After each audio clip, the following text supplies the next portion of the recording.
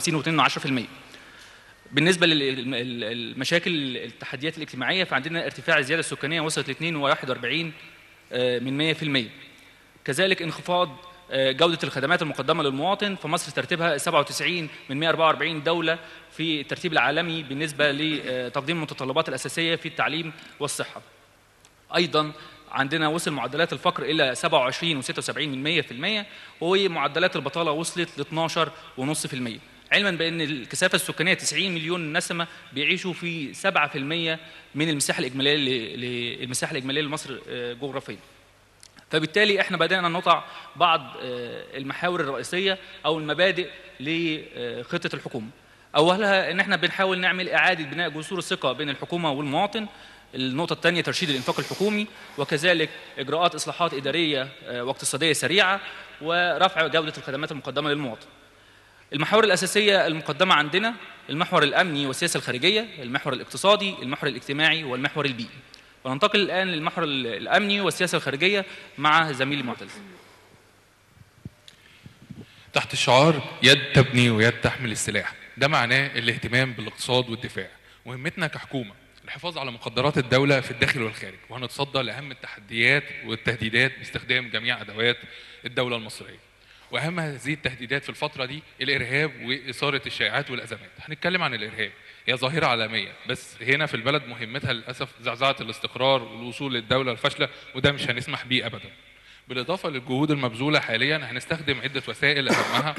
استخدام الطائرات بدون طيار للمراقبة والتدخل طوال ال 24 ساعة. تغيير تكتيكات أعمال القتال وكمان واستخدام المركبات المضادة للانفجارات لزيادة حماية أبنائنا. ومضاعفة التنمية في المناطق اللي تتعرض للإرهاب.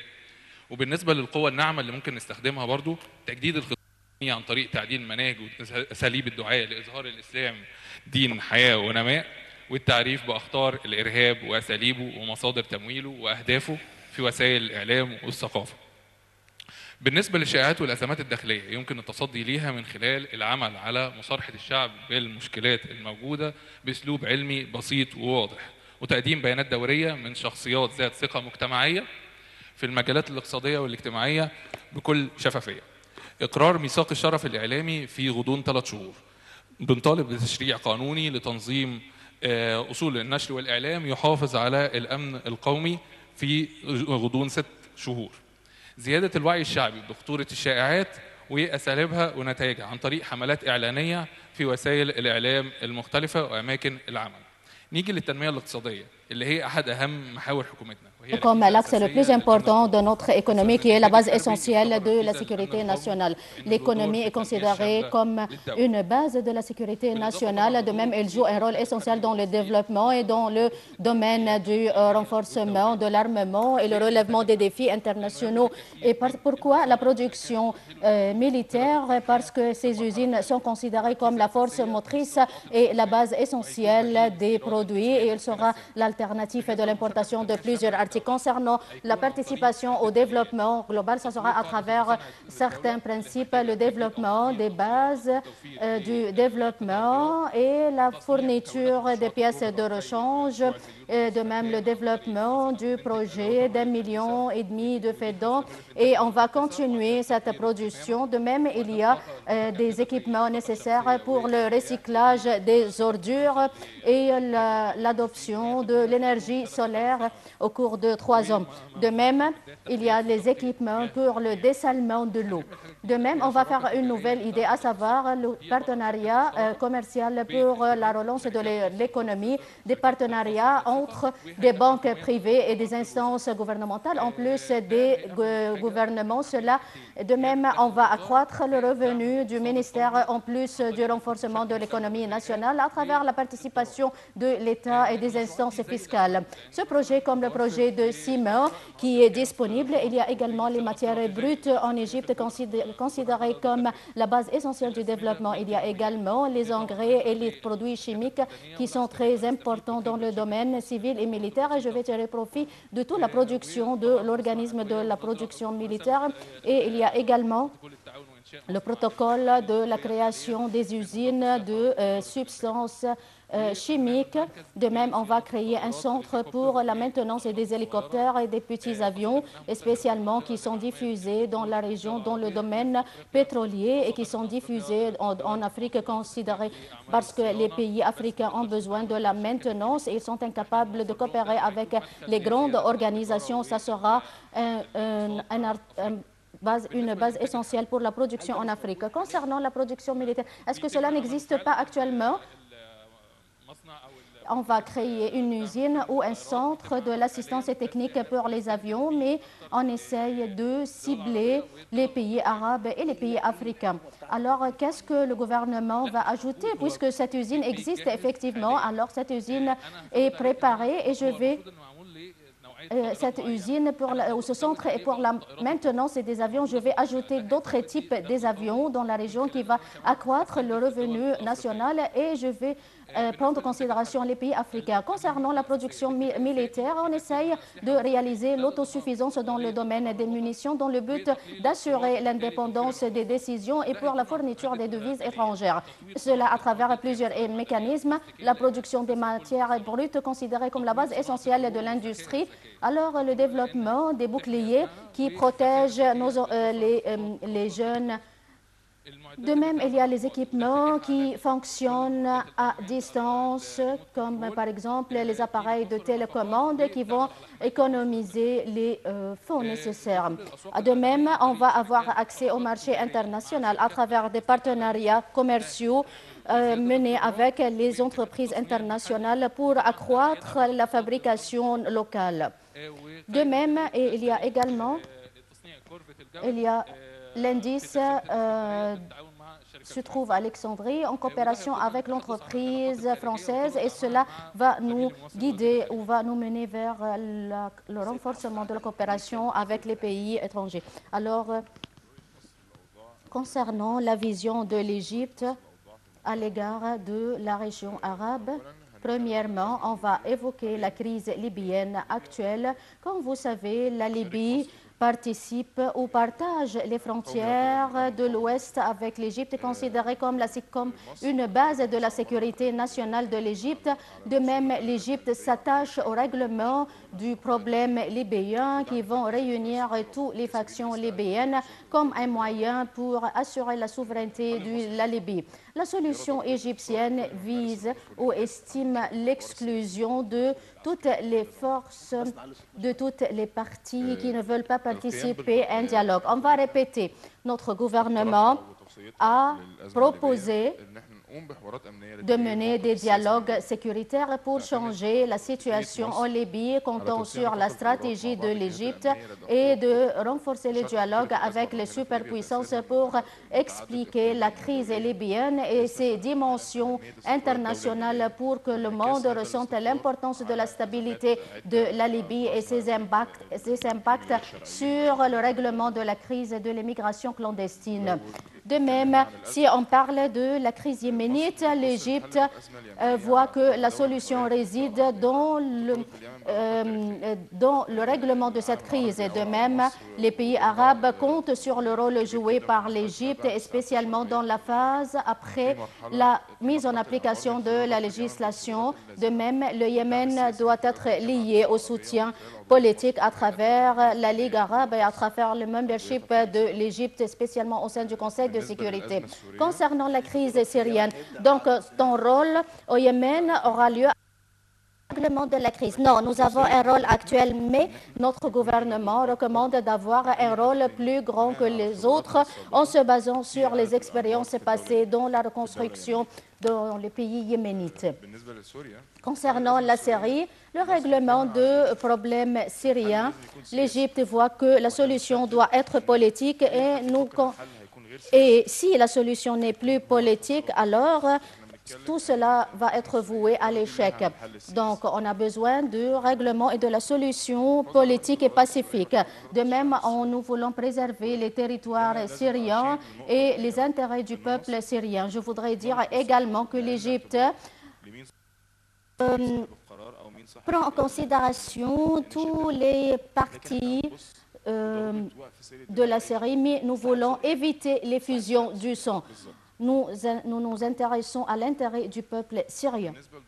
Concernant le rôle de l'Égypte et le développement de ses relations avec l'Afrique, je vais évoquer l'intérêt égyptien en Afrique. Et nous avons premièrement, il y a les intérêts hydrauliques qui sont considérés comme une partie intégrante de la sécurité nationale de l'Égypte. Et nous avons adopté un programme en coopération avec le ministère de l'Irrigation et de même, nous voulons euh, jouir du soutien africain considéré comme le deuxième bloc au sein de l'Assemblée générale à la suite du bloc asiatique. Alors également la sécurisation de la navigation au canal de Suez, considérée comme l'une des sources principales de la sécurité nationale, l'exploitation des matières brutes. Et comme vous savez, l'Afrique est dotée des, euh, des, métaux précieux et des pierres précieuses. De même,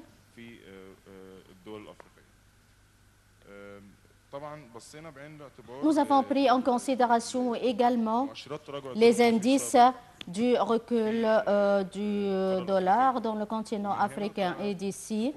Le gouvernement a adopté certaines recommandations à travers lesquelles on va renforcer les relations égypto-africaines. Quelles sont les recommandations les plus importantes? Premièrement, le renforcement de la puissance interne de l'Égypte qui aura des impacts sur sa puissance externe. La nécessité de euh, clarifier la vision égyptienne qui a eu lieu à travers la participation de l'Égypte à la mise en place de l'agenda de l'Afrique 2063. De même, le, euh, euh, de, le renforcement des forces douces comme El Azhar, l'Église égyptienne, la promotion des relations économiques avec l'Afrique à travers les organisations euh, internationales. Alors, euh, la présence efficace de l'Égypte au sein des organisations régionales africaines représentées par le mouvement régional en Afrique, le renforcement des relations populaires égypto-africaines, la précision des règles pour l'octroi des bourses en Afrique. Et nous avons ce thème ou cette affaire. Il y a plusieurs étudiants africains qui continuent leurs études à El Azhar pour tirer profit de l'histoire euh, séculaire de l'Égypte. Mais si on va bien organiser ce projet, ça sera un rôle, un rôle considérable à cet égard. On doit accorder un intérêt particulier au message médiatique. Vous savez très bien que les masses médias jouent un rôle clé dans la sensibilisation de la pensée. Notre gouvernement propose une vision selon laquelle nous aurons une tendance médiatique en Afrique. Peut-être cela existait dans la radio, mais maintenant on a besoin de développer le message médiatique adressé à l'Afrique. En plus de cela, comme vous savez, l'Afrique est dotée d'une initiative à travers laquelle notre gouvernement va lancer une initiative pour créer une institution ou un centre contre euh, de la lutte antiterroriste en Afrique ayant pour siège le Caire qui va lutter contre le terrorisme de point de vue idéologique parce que l'idéologie peut affecter les individus, et spécialement dans les pays africains qui souffrent de l'ignorance et de l'analphabétisme. Maintenant, je vais évoquer le rôle joué par les L'Égypte a joué un rôle clé au sein des organisations internationales en tête desquelles figure l'ONU et en se basant sur ce rôle, l'Égypte a remporté un siège non, permanent au siège du Conseil de sécurité 2016 et 2017 au cours des élections euh, de l'Assemblée générale. Nous avons eu 173 euh, voix et cela prouve qu'il y a une confiance internationale en Égypte comme un pays parrain de la paix et illustre le rôle joué par l'Égypte. L'Égypte a joué un rôle clé dans le règlement des litiges en tant que membre instituteur de plusieurs institutions, en tête desquelles figure la Ligue arabe, euh, l'organisation de euh, l'Union africaine, de l'unité africaine.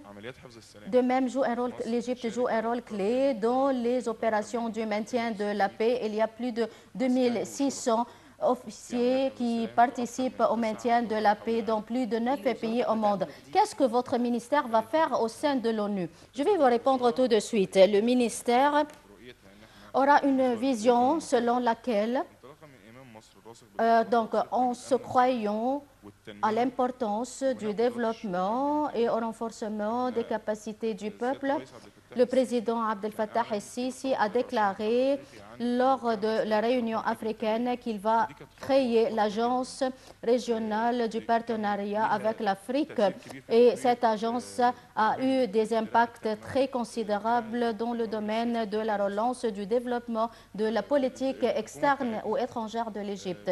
Notre gouvernement recommande que l'administration et les institutions égyptiennes lancent des initiatives de paix dans les différents domaines et à travers lesquels on va illustrer le rôle de l'Égypte comme un modèle à suivre. Nous, nous, allons jouer un rôle pour devenir un modèle à suivre pour les pays cherchant l'établissement de la paix. Donc le gouvernement ne va plus recommander, mais le gouvernement va adopter des décisions. Sans doute, oui, nous avons pris des décisions, nous avons l'initiative pour l'accroissement des initiatives au sein des organisations internationales dans les différents domaines pour faire montrer au monde que l'Égypte est un bon modèle à suivre comme un pays qui parraine la paix. Je vous remercie infiniment à la fin. Et maintenant, on va passer à l'axe économique. Monsieur Michael Rez, le ministre de l'Industrie et du Commerce, merci. Bonjour, j'ai l'honneur de vous présenter aujourd'hui la tendance stratégique de l'économie globale conformément à la vision de notre gouvernement et les mécanismes de la mise en application. Nous avons su quelques... Euh, quelques explications à travers le ministre de la Production militaire, mais nous voulons expliquer les mécanismes de l'application de la stratégie est-ce que nous pouvons changer les diapos?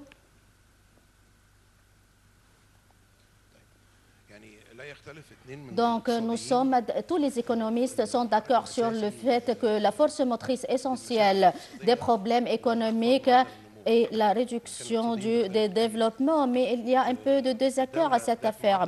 Donc, les pays ayant un taux de développement ou de croissance accru et aptes à régler les problèmes d'inflation et à travers des politiques monétaires.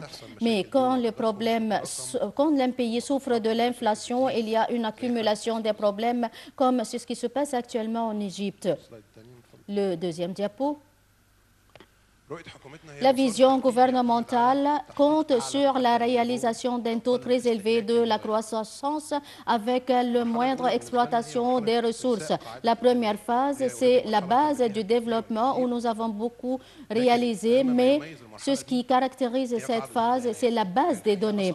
Et vous savez, la base des données est la partie la plus difficile. Nous devons avoir une base des données euh, incluant la prévision de la consommation. Peut-être nous savons très bien le taux de la consommation l'année passée, mais nous devons avoir un forecast ou une prévision de la consommation à n'importe quel instant pour les, les cinq ans prochains. Si je vais construire une usine, je peux créer une usine pendant cinq ans. Alors, je dois savoir et quels sont les objectifs de cette usine. Et le point le plus important, c'est la prévision de la consommation au cours des cinq ans. La deuxième base, c'est la base des ressources. Notre gouvernement œuvre pour la mise en place d'une carte de toutes les ressources égyptiennes, que ce soit les ressources naturelles ou humaines, à travers la précision de la consommation, j'ai les ressources et je peux faire ce qu'on appelle le plan du meilleur usage ou l'usage optimal. Et je peux savoir quelles sont les ressources qui vont être utilisées pour satisfaire les besoins et je peux réaliser un excédent euh, du, balance commerciale. Je sais très bien ma consommation et mes ressources. Et il n'y a plus euh, un pays au monde qui peut réaliser le développement qu'à travers le commerce. Donc, je dois préciser les ressources qui vont être accrues et qui vont être en plus pour réaliser l'excédent bien étudié. Le deuxième point, après la mise en place de cette carte, le gouvernement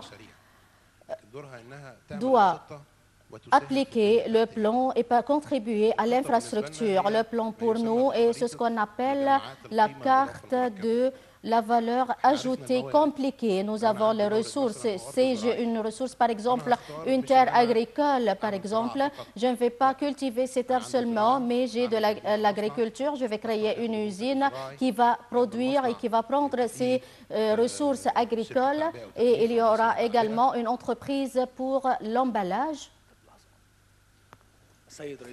Maintenant, le président Abdel Fattah Sisi est entré à la salle.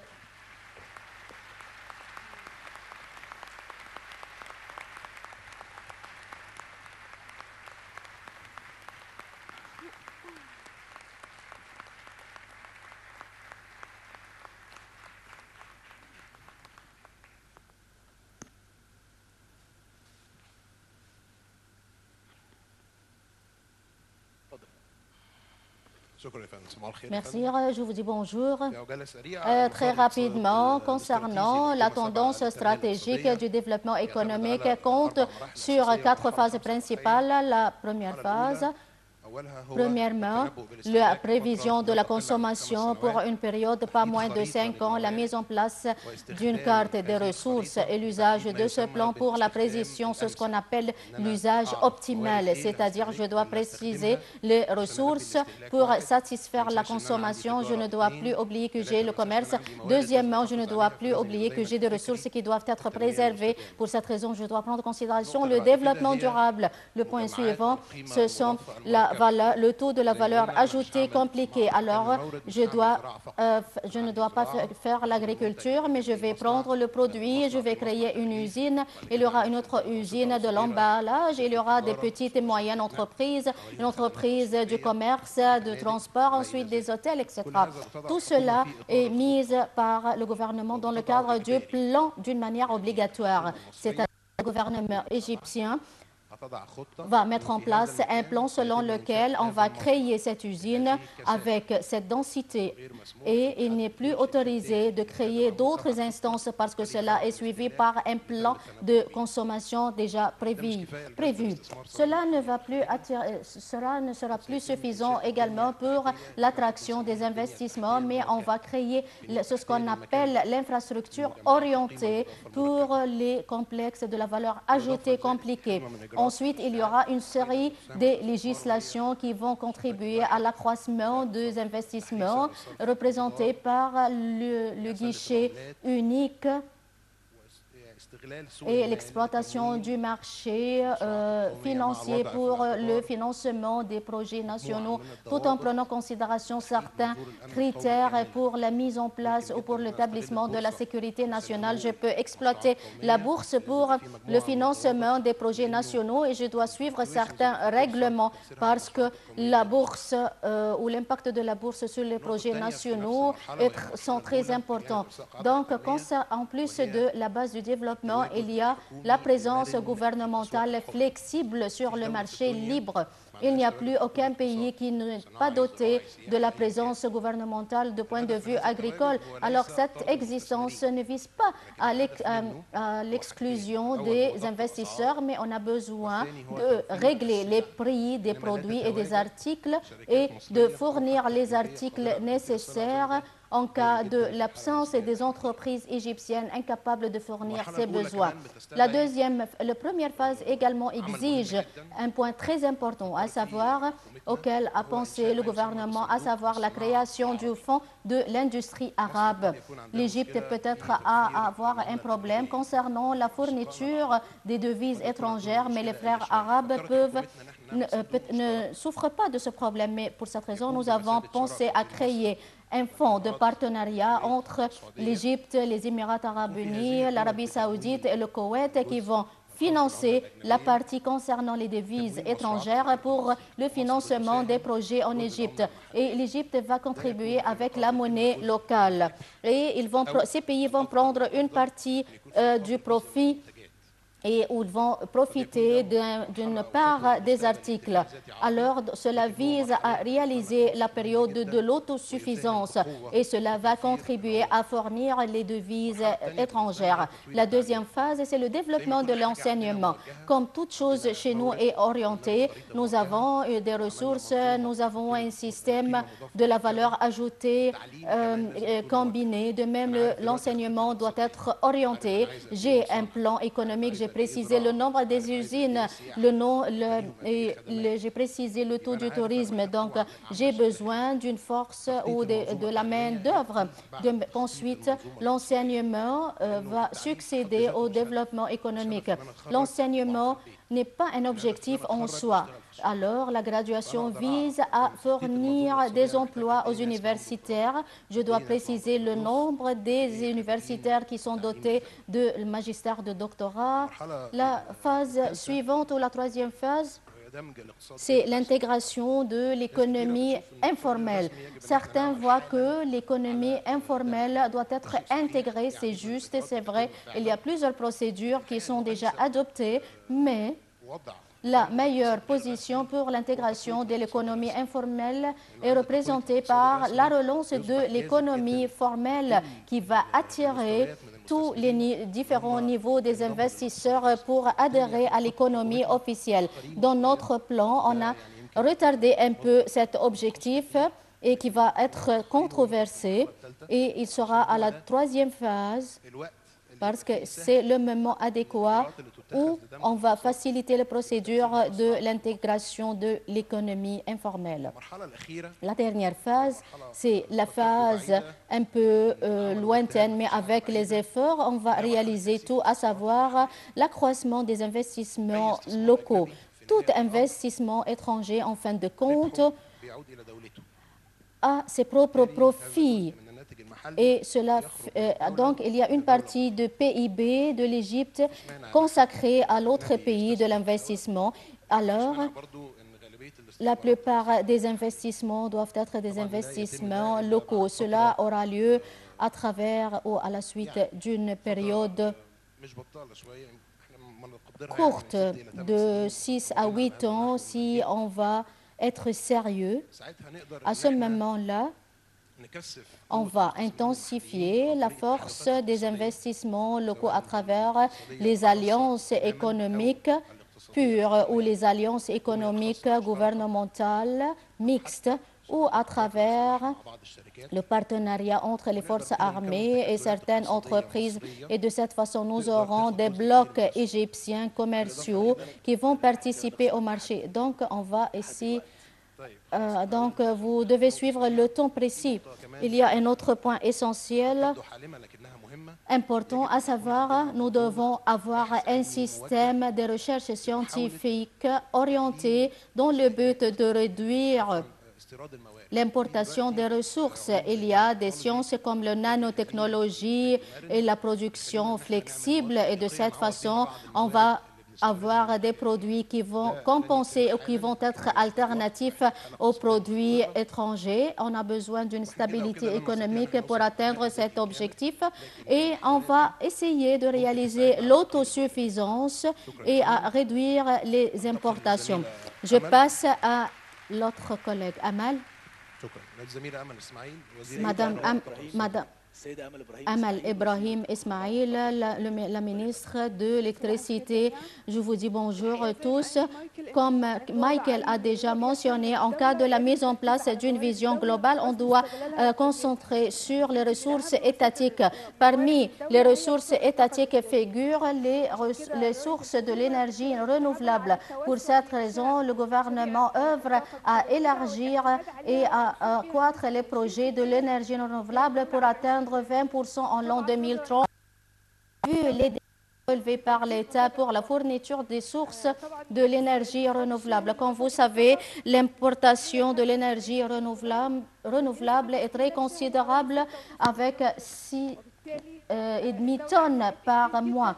Donc, l'État souffre de la euh, satisfaction ou de la production de ces énergies. Donc, on va créer des, usines pour la production de l'énergie solaire. Comme vous savez, l'Égypte est dotée de l'énergie solaire qui dépasse de, de 2300 et par 9 ou 8 heures par jour. Pour cette raison, on doit exploiter cet avantage et accroître les projets du réchauffement de l'énergie solaire sur les plafonds des maisons et la création des centrales de l'énergie solaire dans le but de fournir l'énergie nécessaire aux régions montagneuses et inaccessibles. Et de même, on doit fournir également la production et la création des centrales de l'énergie électrique. Il y a on a besoin également de de la création des centrales de euh, photovoltaïque. Il y a plusieurs projets qui sont exécutés actuellement. Il y a d'autres projets qui peuvent être créés, qui peuvent être accrus en tête de quelle figure le projet de l'énergie thermique à Koraimat et cela est considéré comme la première centrale solaire. Ensuite, il y a d'autres centrales de l'énergie solaire à Hurghad et à Komombo en coopération avec certaines instances étrangères et on va compter sur le financement le financement des instances étrangères et on va attirer les investissements euh, privés en plus de la participation du gouvernement, la mise en place de plusieurs centrales solaires à Aswan et Zafaran avec une force de 50 MW qui sont considérées comme les meilleures régions pour la production de l'énergie solaire avec un coût de 900 millions de livres égyptiennes en coopération avec les entreprises du secteur privé. Il y a des accords actuellement avec le secteur privé qui se sont mis d'accord sur ces projets. De même, il y a l'énergie éolienne. L'Égypte est riche en l'énergie aérienne parce que la vitesse ou la rapidité de, vent est considérable, spécialement à l'ouest du Suez, du Suez et de 300 à 900 mètres sur mètre carré. Et par suite, la vision du gouvernement vise à accroître l'énergie solaire à 12% en l'an, de, en, en l'an 2030. Et tout cela à travers la mise en place des projets. Donc, la première centrale éolienne était à Za'faran et par suite suivi par un groupe de projets dans la région du canal de Suez et à l'ouest du Nil avec 1930 MW en coopération avec les gouvernements étrangers comme l'Allemagne, le Japon et l'Espagne. Et récemment, on a ouvert une autre centrale qui est considérée comme la plus grande centrale éolienne au niveau international. De même, on va adopter l'énergie nucléaire pour le dessalement de l'eau et dans le domaine agricole. Et récemment, on a conclu un accord et récemment, on va mettre en place d'autres accords de centrales nucléaires à El Dabara qui vont entrer en vigueur euh, en cours de huit ans. Euh, avec une capacité de 2,1 gigawatts. Donc l'énergie nucléaire est considérée comme une source principale de la production de l'électricité évaluée à 20% Alors le gouvernement va adopter d'autres projets comme par exemple euh, l'usage des déchets agricoles et des déchets des animaux euh, évalués à plusieurs sondages considérables. On doit exploiter ce tout pour la création des centrales ou des unités domestiques euh, dans les zones rurales.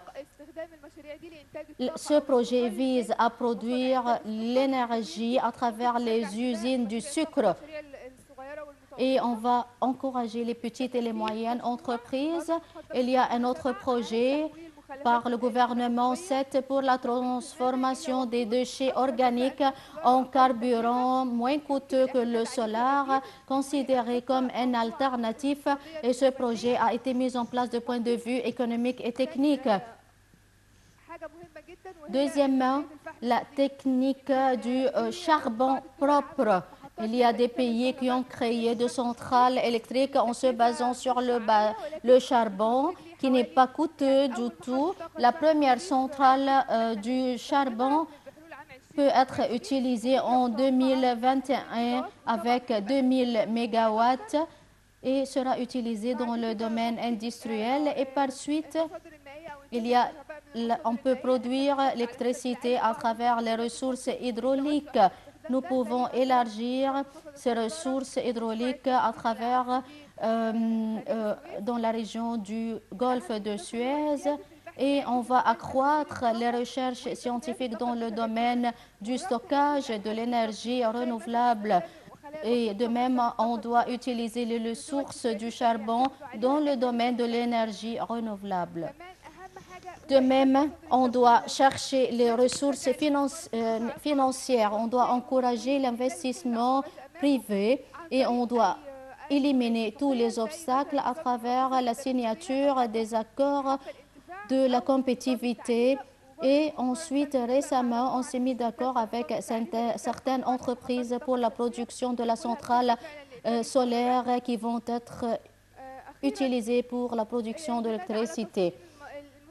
On doit, euh, de même, on va créer les nouvelles agglomérations urbaines et, on va utiliser, comme nous avons déjà dit, l'énergie solaire et les ressources de l'énergie euh, nucléaire. De même, on va fournir également l'énergie électrique dans certaines régions et on va accroître le taux de la croissance pour cette raison, Ahmed va nous parler de la gestion de la réforme administrative de la justice sociale.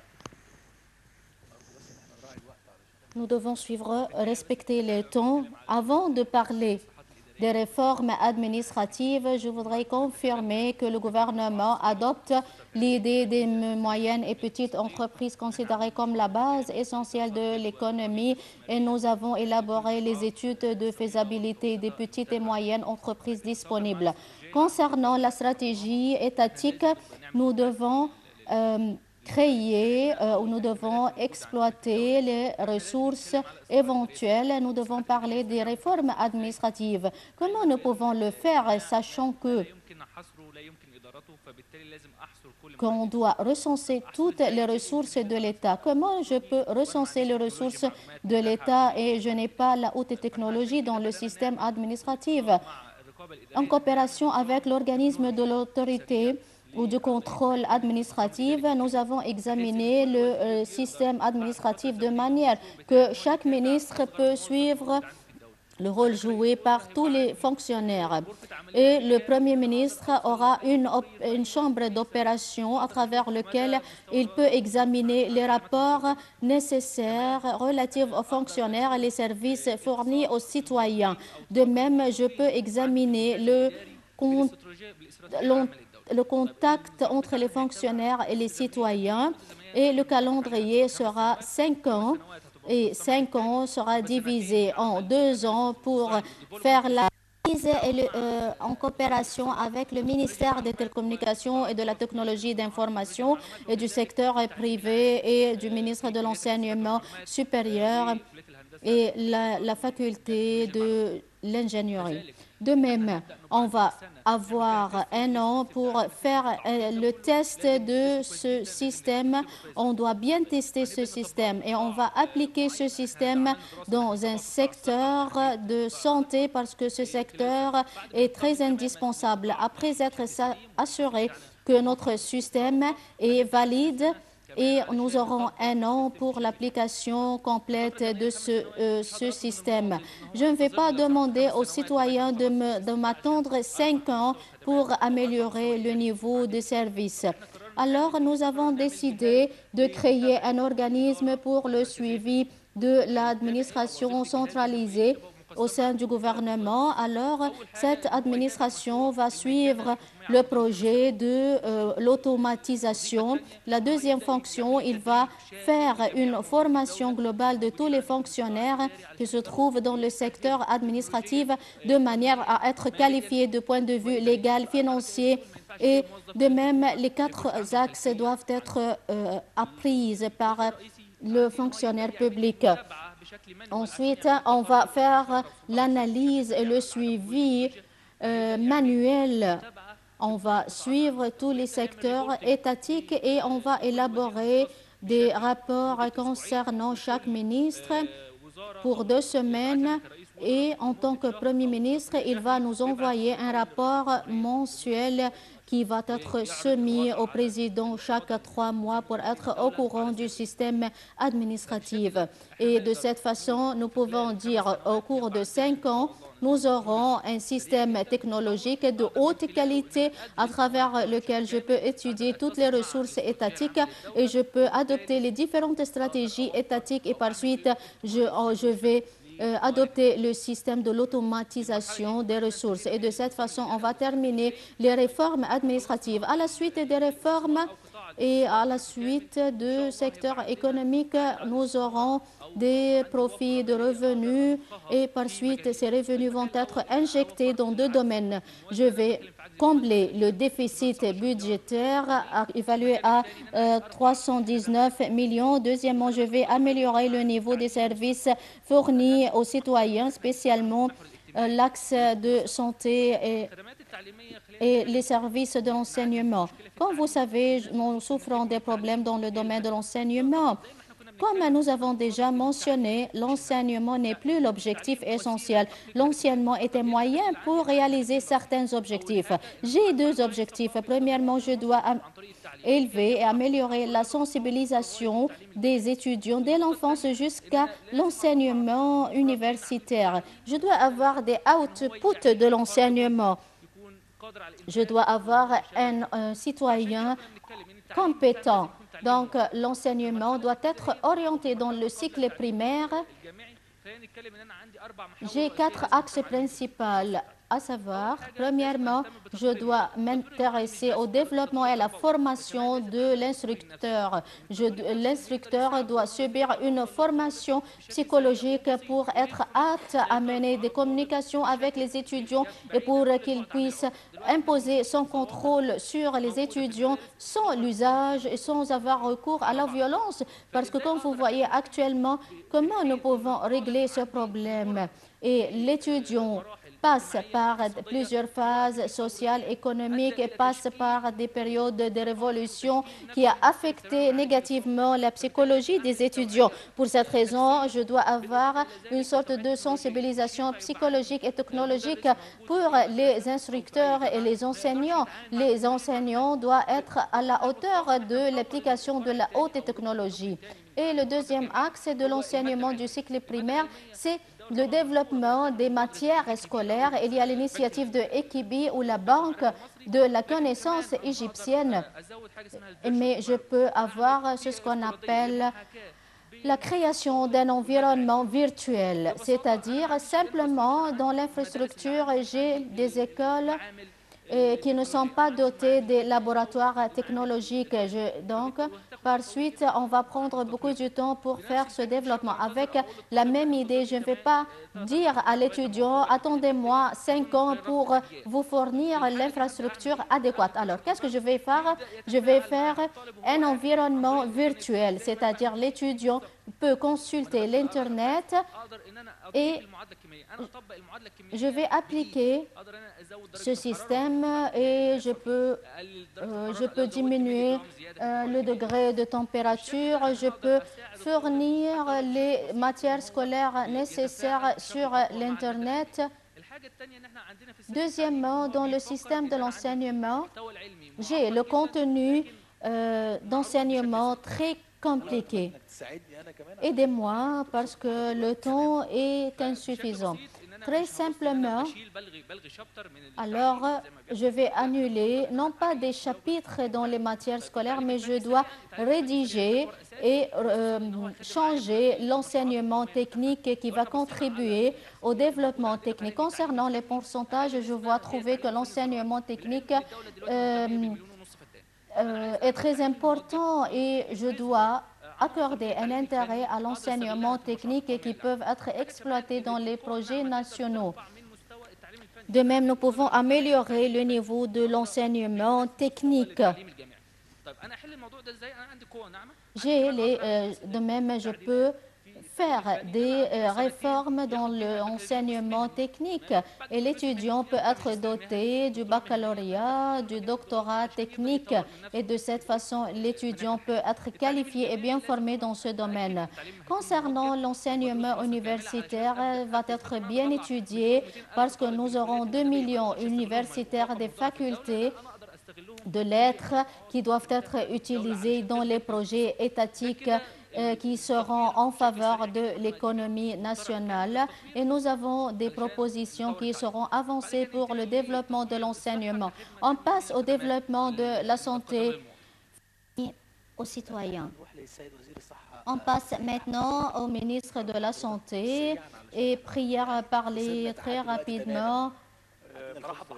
Je vous remercie infiniment et ma, notre vision est très indispensable mais nous avons une, tendance stratégique et on va faire participer tous les partenaires représentés par le secteur privé, public et les ONG qui jouent un, un rôle clé à cet égard, en plus de l'application de la bonne gouvernance dans le domaine sanitaire visant à rétablir la confiance entre les citoyens et les services de santé. Je vais passer en revue les objectifs et les axes de notre travail. On va redévelopper le niveau de leadership et la formation des cadres euh, leaders jeunes et l'amélioration de la qualité des services sanitaires, la fourniture de l'assurance maladie et le renforcement du rôle du contrôle étatique, la maximiser le rôle du ministère de la Santé. Premièrement, nous devons améliorer le niveau euh, du leadership et du niveau administratif. Et je crois, et avant d'appliquer le système de l'assurance maladie globale, on doit s'assurer de la haute qualité des services de santé.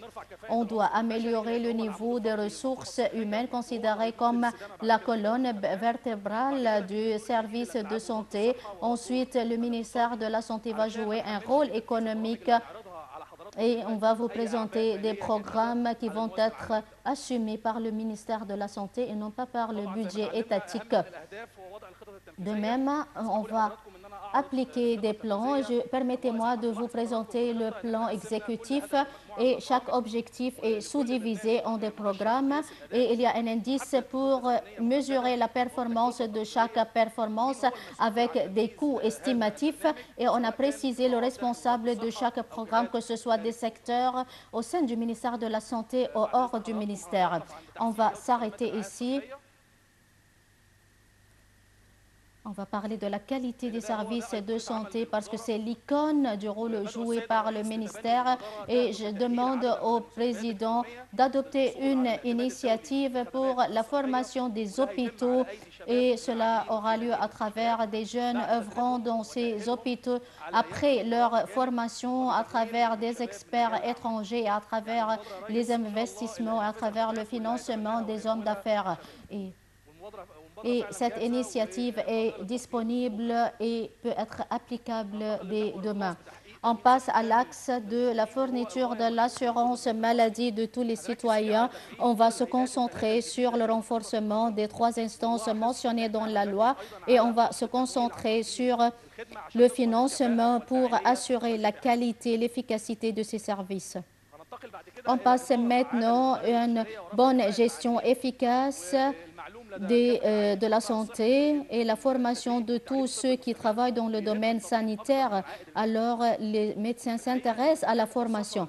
Le budget consacré à la formation est adéquat, mais nous voulons savoir quels sont les besoins de formation pour les médecins, les infirmiers, et comment nous pouvons développer ces programmes de manière à aller de pair avec le progrès réalisé à l'étranger? Alors, renforcer le rôle du contrôle du ministère de la Santé et on va créer un centre médical pour l'amélioration des services de santé et ce centre va octroyer les licences et les permis aux instances à l'instar du modèle appliqué dans les pays au monde. Le médecin ne peut pas avoir une licence pour l'usage de, pour exercer sa fonction pour toujours. Donc, donc cette licence doit être renouvelable pour assurer la haute qualité du service de santé. De même, on doit créer un organisme pour assurer la qualité des médicaments fournis aux citoyens.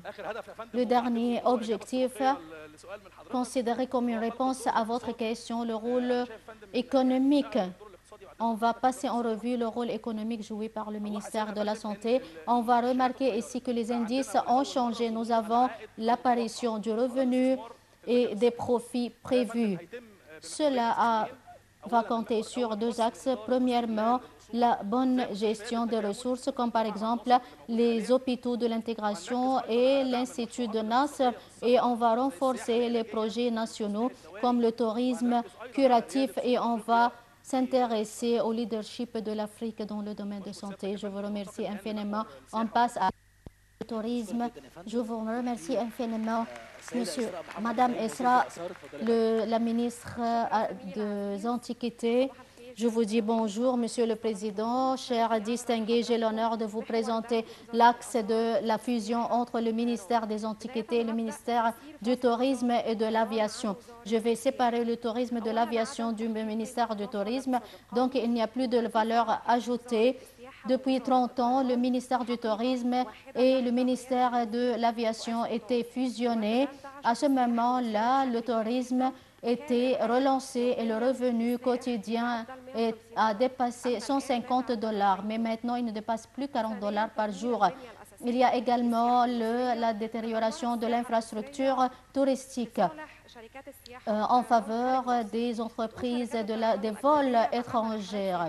Il y a des, euh, des compagnies de vols étrangères qui achètent des saisons touristiques avec les moindres coûts. On doit ouvrir et fournir depuis 20 ans, le ministère du, des vols a bloqué l'espace aérien devant les entreprises et les vols étrangers sous l'égide de la réciprocité. Et les vols égyptiens sont, euh, ou l'aviation égyptienne sont sortis de la compétitivité internationale. Quatrièmement, l'apparition des personnes qui handicapent le processus de la réforme touristique et de l'aviation. Pour cette raison, nous devons mettre en place une stratégie pour fusionner le ministère des Antiquités, de l'Aviation et du Tourisme qui va réaliser des revenus considérables à l'économie. Et nous devons analyser les points forts et faibles, les opportunités et les menaces. Premièrement, les points forts. On doit réaliser la valeur ajoutée pour l'économie, améliorer le niveau des ressources humaines dans les deux secteurs, l'accroissement des donations des financeurs et de rendre service à ces secteurs pour atteindre l'objectif, à savoir la promotion du tourisme, du tourisme, de l'aviation et la préservation des antiquités. Concernant les points faibles, c'est la présence d'une structure administrative séparée de des secteurs. Pour cette raison, on doit mettre en place une stratégie pour l'unification et la fusion de tous les secteurs administratifs de manière à assurer la compétence administrative. Il n'y a plus un taux fixe euh, du budget consacré à ces ministères. En plus,